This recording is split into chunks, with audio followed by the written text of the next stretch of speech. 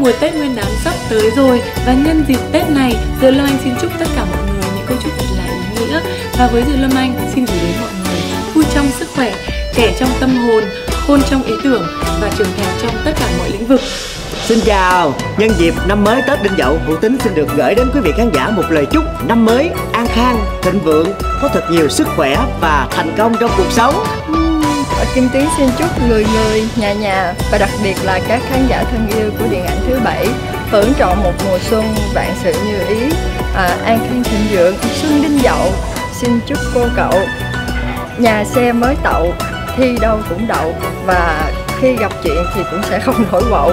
Và năm nay cũng là một năm Tết à, rất là đặc biệt đối với Tư Lâm Anh bởi vì sao? Tư Lâm Anh lần đầu tiên được vào vai chính của một bộ phim điện ảnh mang tên Lục Vân Tiên Tuyệt đỉnh Cung Phu và hy vọng rằng tất cả khán giả sẽ cùng ra dạp để ủng hộ bộ phim này của mình nhé. Kính mong quý vị khán giả sẽ nhiệt tình uh, rủ hết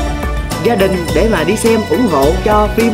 Lục Vân Tiên Tuyệt đỉnh Cung Phu nha.